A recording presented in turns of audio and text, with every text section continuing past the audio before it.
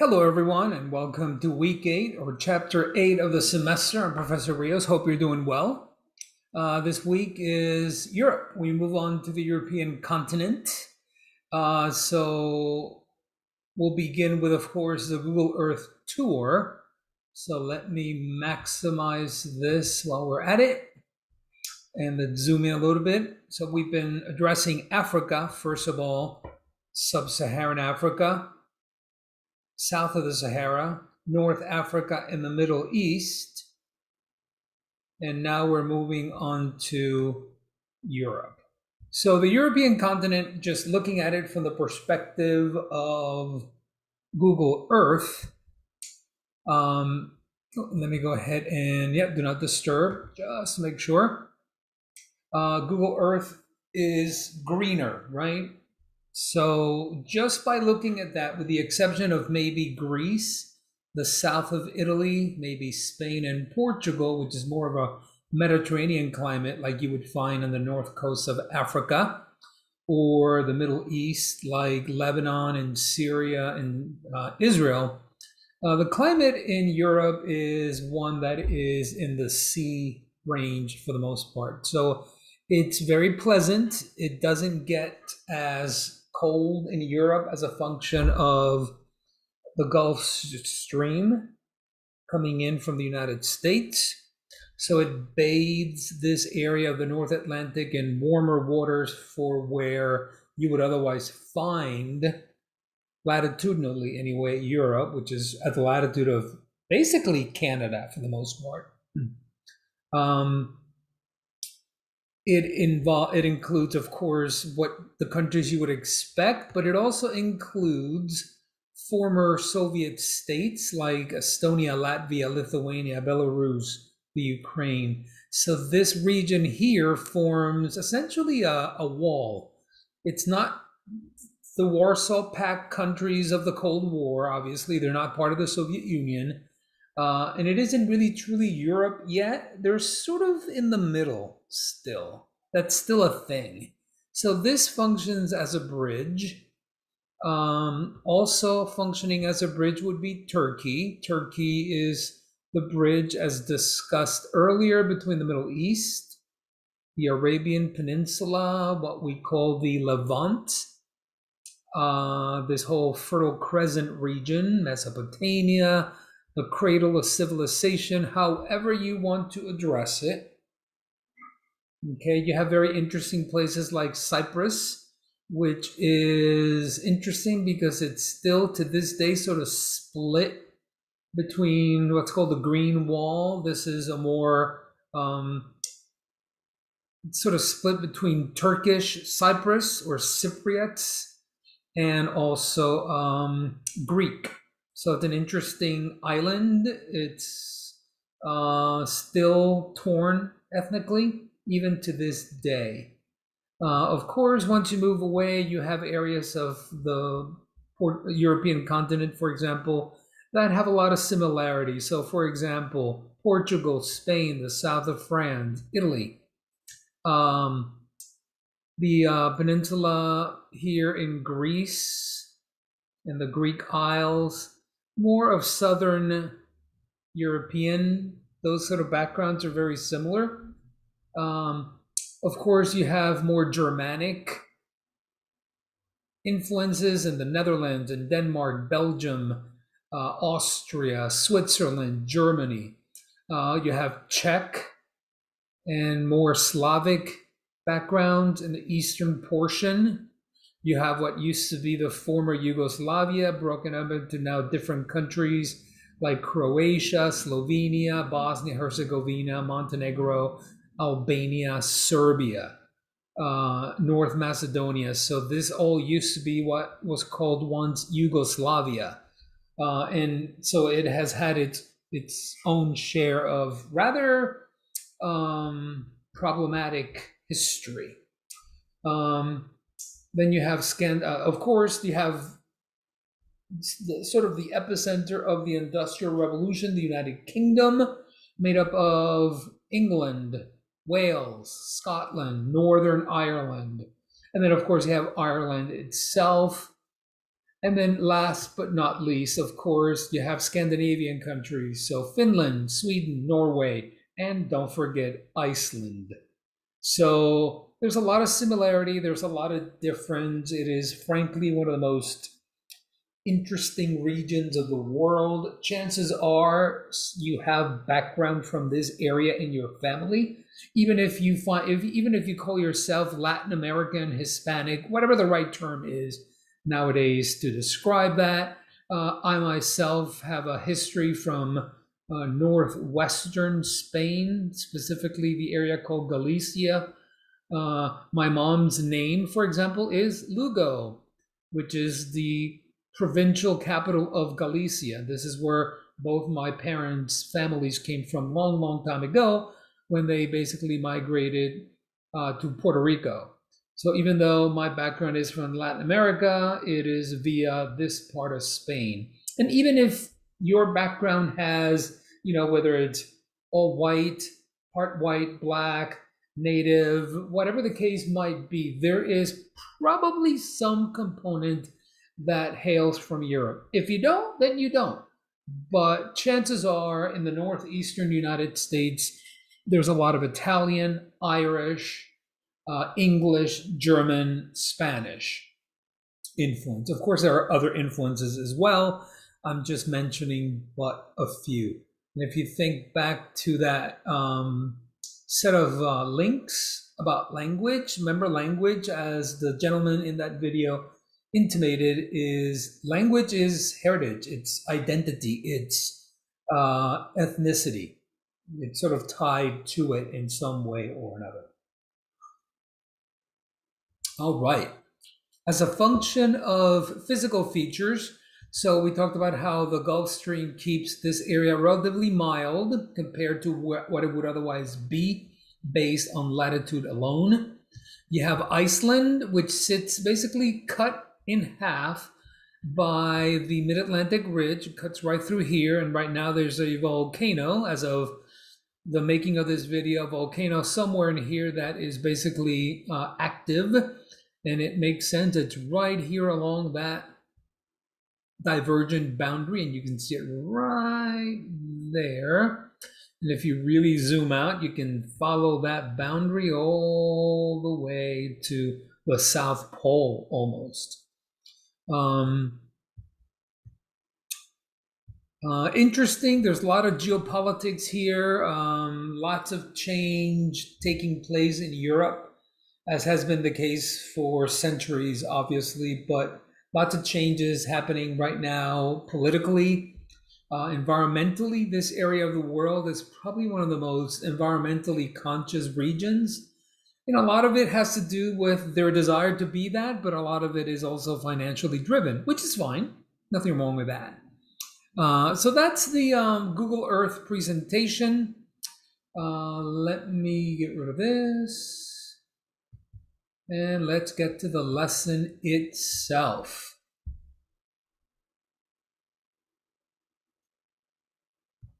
All right. So Europe, made up of many, many different places. Again, these are the objectives.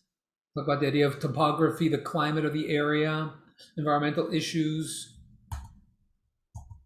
some of the key concepts and terms, this is the basic breakdown. Went over it on Google Earth, but it's really 42 countries. There are big states like Germany. There are small ones like Andorra and Liechtenstein. Uh, it's relatively small and densely settled region, about 700 million people.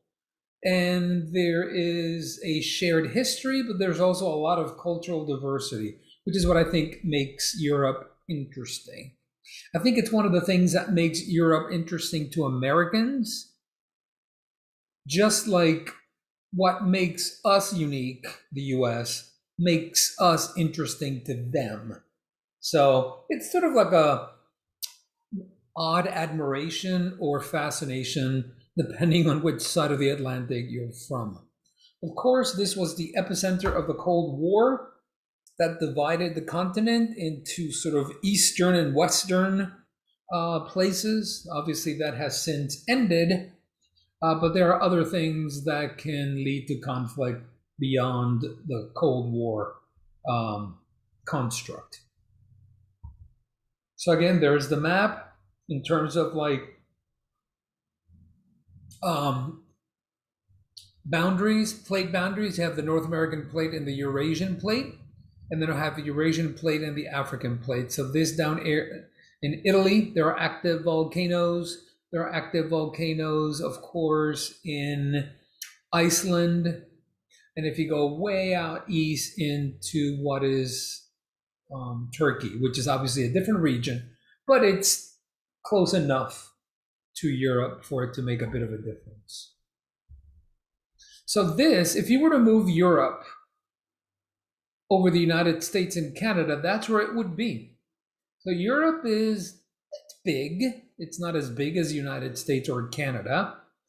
Um, notice how here's the border of the United States. Notice how much of Europe would be north of the North American border between Canada and the US. Notice how far north Iceland would be at the latitude of Alaska. So would the majority of Norway, Sweden, and Finland.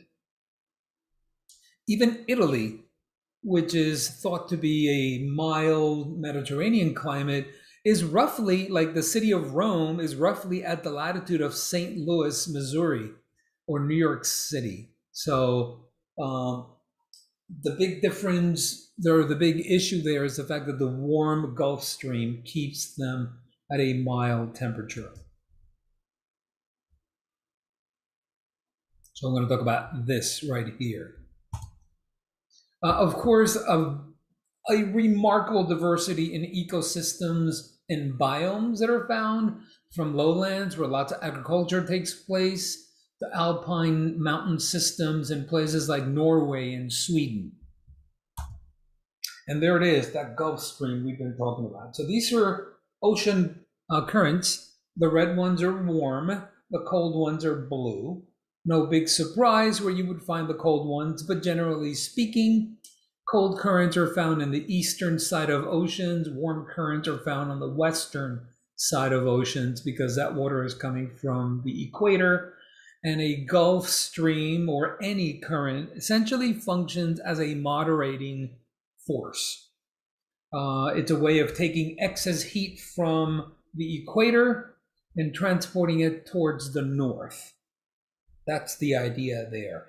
If you want to simplify it even more, is essentially what the Earth, excuse me, what the Earth does in order to relieve the imbalance that exists because the Earth is a tilted planet revolving about the sun. So different areas of the earth are heated differently based on season. Okay.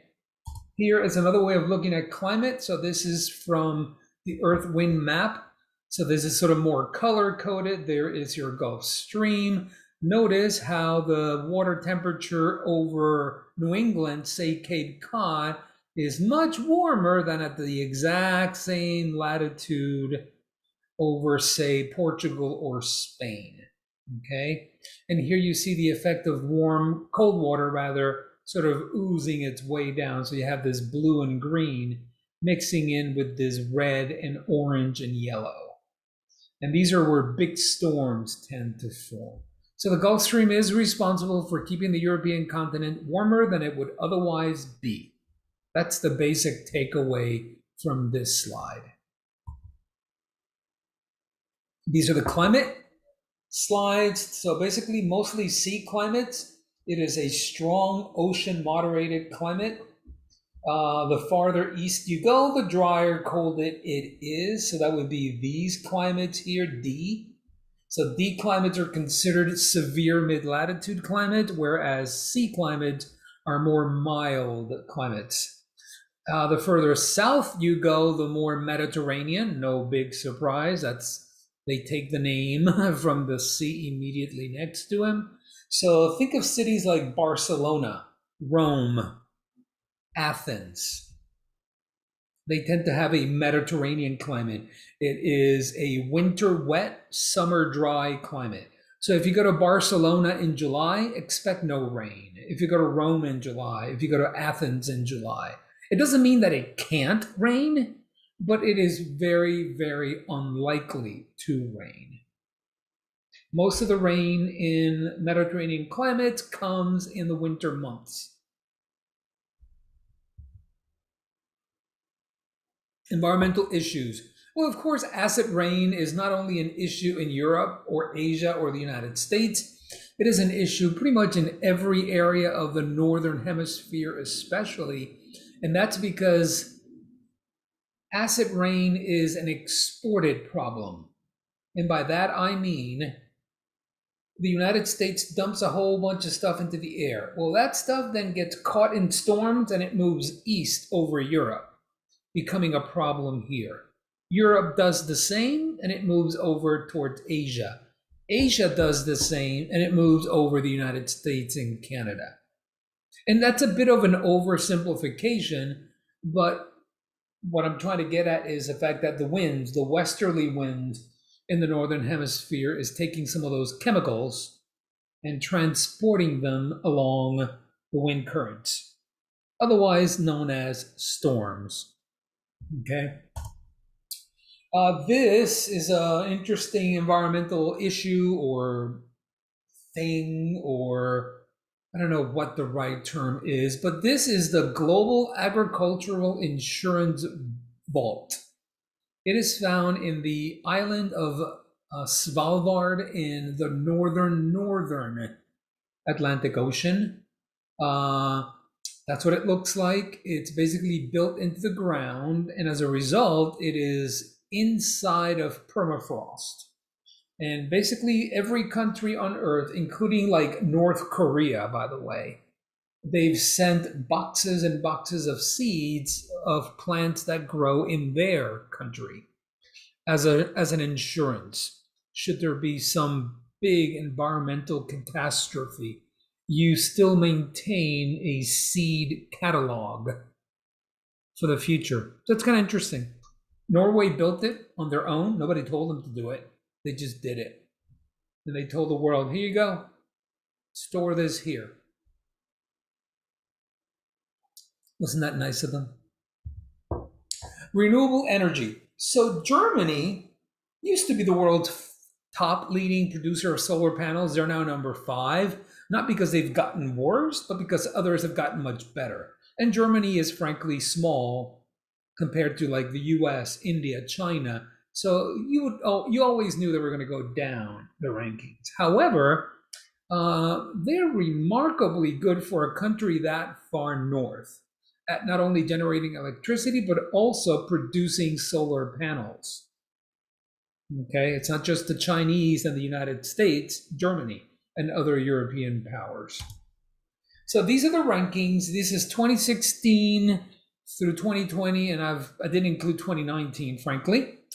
Um, but here is how the numbers have changed. So China is number one, and they're likely never to relinquish that as a function of size. The United States at number two, and by the way, there was an increase in solar energy generation or capacity even through the Trump administration, many people thought, oh no, it's going to go down. It didn't. And it's not going to. It doesn't really matter who the administration is. Uh, that number is still going to go up because a lot of this happens at the local level. Japan has significantly increased their capacity as a function of getting away from nuclear energy. Uh, but look at places Germany, Italy, the United Kingdom, and France. So the US has a, the EU rather, has a big combined uh, solar capacity. Think about Germany is roughly the size of New York and New England put together.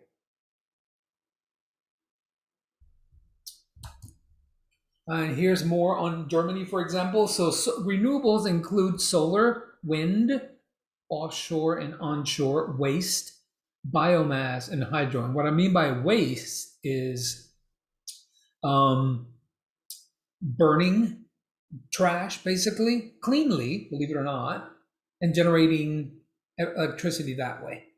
So the goal for Germany is 65% renewable energy by 2030 They're currently at 46% in 2020. That's pretty impressive.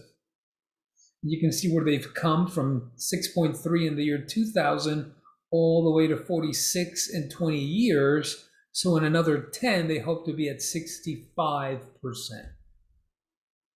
Now, this isn't perfect. Uh, there are always challenges in doing this, but what they've done over the past two decades is nothing short of remarkable. Some of their impacts, obviously, the idea of melting glaciers. A lot of these glaciers, you know, a lot of this is not necessarily an issue in terms of people losing the water that they need for drink and for agriculture, because the climate is frankly wet enough to support it on its own. But it's sort of a sign of something else happening, right? Losing glaciers in Asia, losing glaciers in the Andes is a bigger deal because there people rely on that water for their livelihood. Not as much in places like Europe, but still not not insignificant anyway. Uh, these are some of the uh, environmental issues in Europe. So the sea gates of the Nether in the Netherlands so, because of climate change and the idea of sea level rise, there is probably no country on earth that is A, more vulnerable, but B, more prepared than the Netherlands. Here's an example of sea gates. The ocean is out there, and they are able to swing these gates closed and prevent the North Sea from doing any damage inland. That's pretty impressive. That's engineering. Okay. Um, I want you to take a look at this image for a second. Look at where the trucks and cars are. Look where the water is. Do you see where I'm going with this? These cars are way below the water level. So this is all engineered in such a way that they're protected they're taking advantage of wind as far as these uh, windmills. And so the Netherlands has to sort of function like this because they are essentially below sea level. A big por- portions of their real estate is. So if you're if you're standing here outside of your vehicle, you're looking up at sea level. These are homes that float. Again, if your house is way down here, you're looking up at the water, which is sort of a weird feeling, I would imagine. I've never been in such a place, but I would imagine looking up at water, meaning if you were to go straight without going up in elevation, you would be already below the water level. But this is one way around that. If you make your home sort of anchored, so your homes float, they don't really flood. They're anchored to some sort of walkway, and they can go up and down depending on water level. Clever. If you put solar panels on top, you basically kill two birds with one stone. Just curious, would you live like this? I have a feeling most American, most Americans, period, doesn't really matter where you're from, Florida, New York, Texas, California. I don't think most would want to, but the mindset in Europe is different. It's just different. If you are European yourself, or if you know somebody who is, you probably know what I'm talking about. So population and settlement. Um, although the population of Europe is roughly in the 700 million um, range, many places are either have slow or negative rates of natural uh, increase. Some of them are shrinking. And so most of Europe is already what's considered highly urbanized. So here are some of the, num- the numbers, the total fertility rates. Notice how they're all Every single one of them below two. Every single one. In fact, let me just do a quick, make sure I haven't misspoken. Yep, every single one of them is, and no, notice the countries with a negative rate of natural increase means these countries are actually shrinking other than migration. If they have migration coming in, that can make up for the loss of the native population. So whether it's Western, Central, Northern, Southeastern, Southern Europe, or any of the microstates, they're all pretty much at really, really low fertility. So, think about this for a second. Fertility is one of the best indicators of development. The more developed a country or a region is, the bigger a portion of their workforce that women will comprise. And if that's the case, women often either forego or limit how many kids they have. It's just one of those things. So the more developed a place is, the fewer children they tend to have. Because kids are no longer advantageous economically. You're not you don't have a farm that you're gonna have to sort of like um, you know, man with people meaning your kids, like in the distant past. And kids are expensive. And because people live in cities more than before, look at these percentage urban,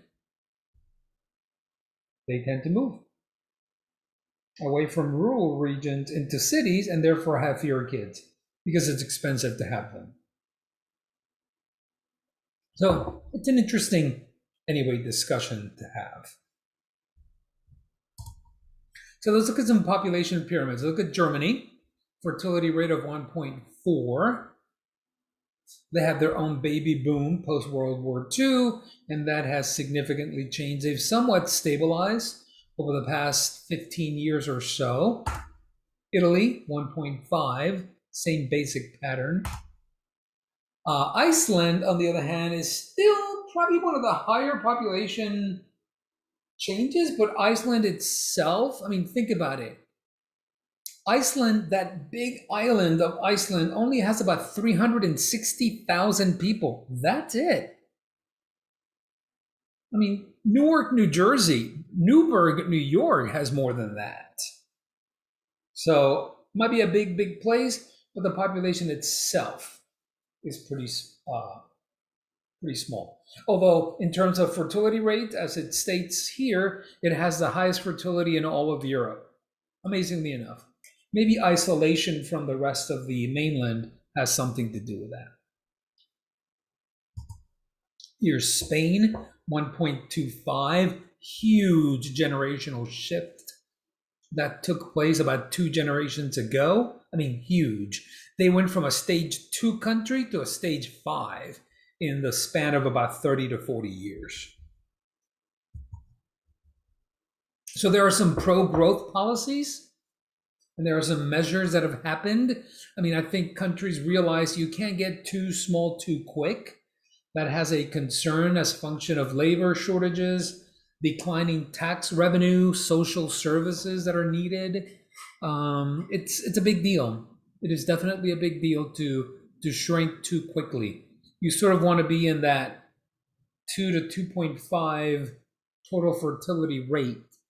And clearly, there is not a single European country there now. Okay. Migration, there is migration within Europe and to Europe. Uh, there for economic reasons and refugees within Europe and legal and illegal and former colonies outside of Europe. So think about what happened in 2015, 2016, 2017 from places like Syria or former colonial states like Algeria and Libya and Tunisia. Okay?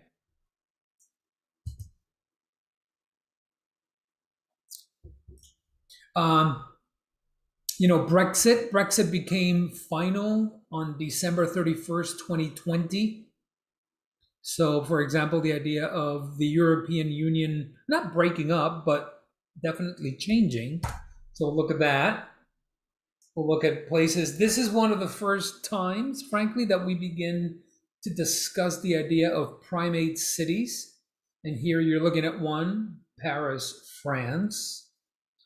And it may not mean as much in Europe, but it will mean more in other places. So let's define it.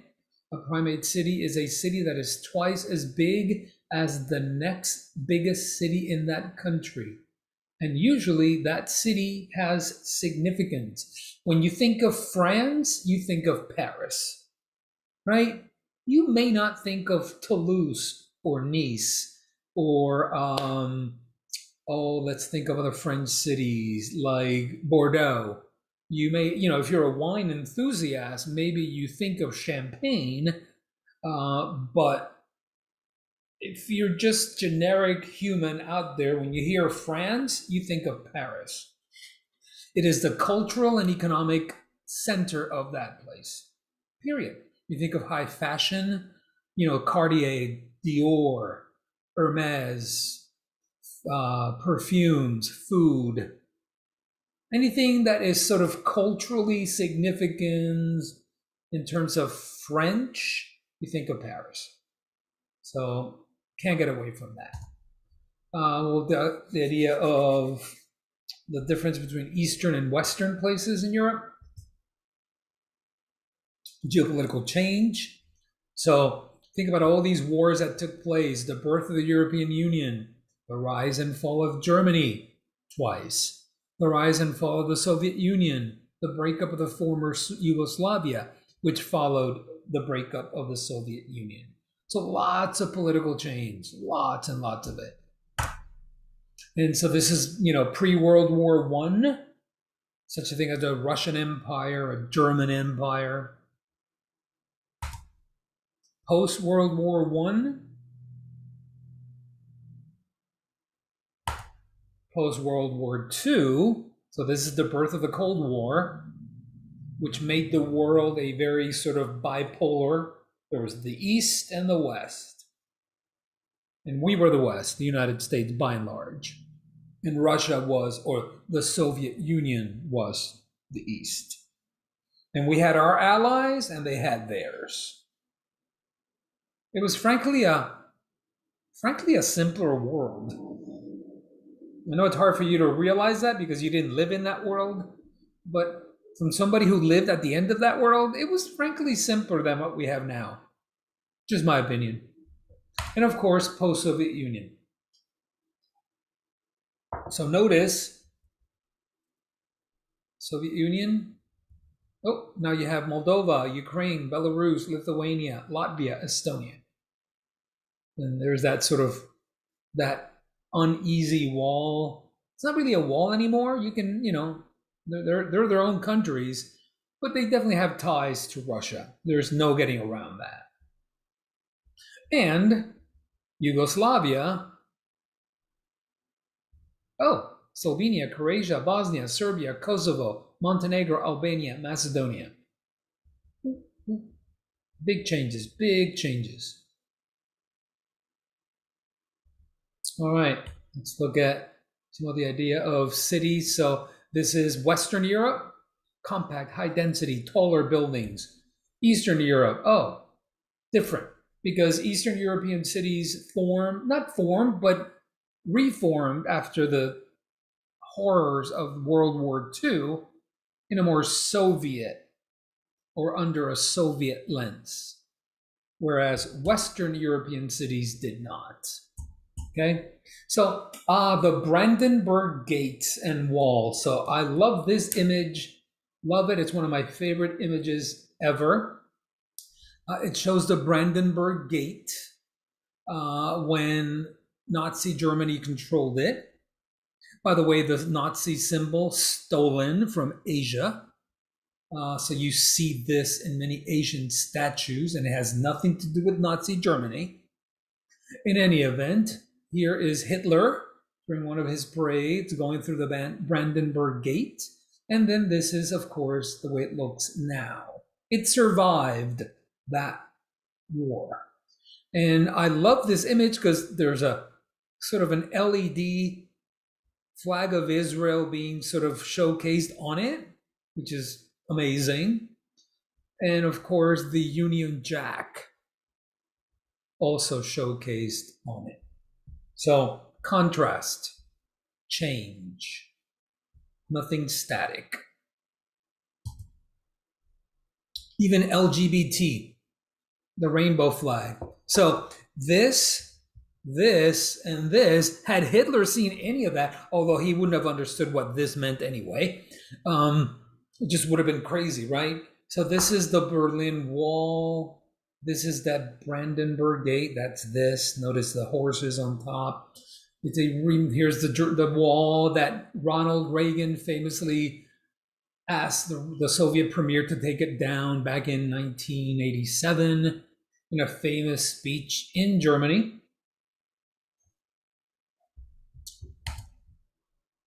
Languages, there are so many. So, of course, there are romantic languages like Spanish and Portuguese and Catalan in Italian and French, um, and Galician and Scandinavian. And I've been to Barcelona and I speak fluent Spanish. I could barely understand Catalan, could barely understand it. I can understand Spanish, and Galician, I can understand a little bit better.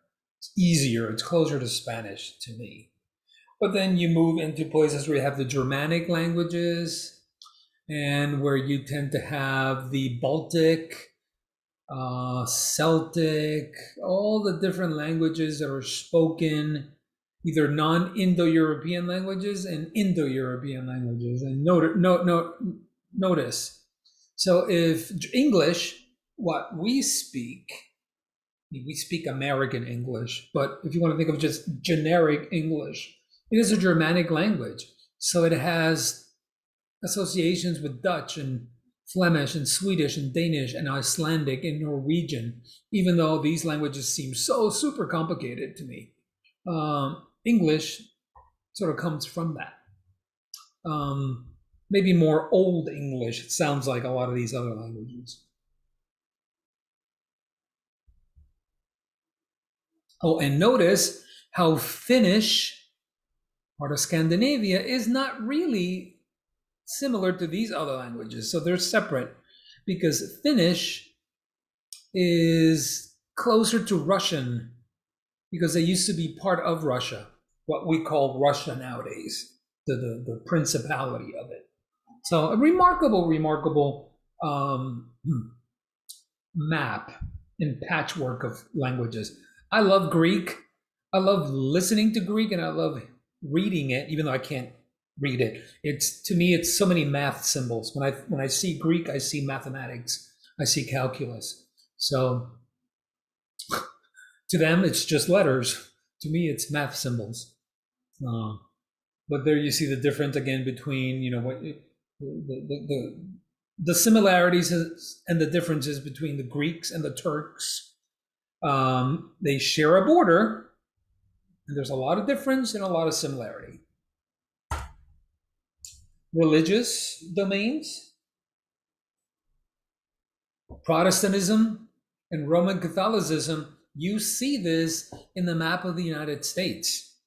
Wherever you see areas that are Roman Catholic, they were either settled by the Spanish, by the French, or by Italians and Irish. Wherever you see predominant Protestantism, you find places that were settled by Germans, the uh, English, United Kingdom, Brits, UK, whatever you want to call it, or places that were settled by Scandinavians, Norway, Sweden. That would be like uh, Minnesota, Wisconsin, Michigan, North Dakota, South Dakota, Iowa, Nebraska. And in the map of the United States, you see how a place like the state of Texas goes from English names to Spanish names like El Paso, Amarillo, San Antonio. And then you get into places like Santa Fe, Las Cruces, um, California, Sacramento, Los Angeles, San Diego, San Francisco. These are all Spanish names. These are all Catholic in their origin. So that makes a big, big difference. Or if you go to a place like New England, Massachusetts, Rhode Island, Connecticut, Vermont, New Hampshire, Maine. And all the names there are from cities like, you know, Plymouth and Southampton and uh, Norwich and Ply- uh, I already mentioned Plymouth, um, Providence, um, East Hampton, New London, places like that. So it all sort of transported away from their or area of origin into what we call the United States now, right? So that's where I'm going to end it for the lesson. Um, again, you know, there's more to this slide packet, so make sure you go over it on your own. But I wanted to hit the topics, the main topics. Um, it's a fascinating, fascinating region, very complicated, very diverse, very diverse, actually. Uh, and it basically forms the exit points for many of the areas that we called home nowadays, whether that be Canada the United States, Mexico, Central America, South America, the Caribbean. They were all almost entirely settled by Europeans. And again, whatever your opinion of colonialization may be, the fact that it happened, it happened and it's led to a whole bunch of other cultural, ethnic, religious, language landscapes that are here and are not going to go away. And so it's it's it's good to understand why. Uh, and in those videos for languages and accents, you see that in there as well. So anyway, uh, hope you have a fantastic week. If you have any questions, let me know or come to the lesson, uh, live office hour rather. If the time schedule doesn't work, let me know and I can set one up for you that matches both our schedules. Regardless, hope you're doing well and we'll talk to you soon. Bye.